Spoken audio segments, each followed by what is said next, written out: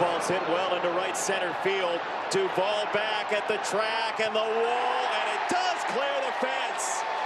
Up and out of here for Robert once again, and the Sox have the lead.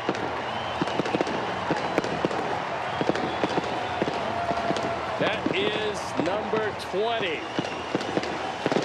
RBIs 40 and 41. And the Sox on the board with a two-run homer. Courtesy of Luis Robert Jr. He wears the jacket. He wears the hat. And the Sox, the good Sox, wear the lead.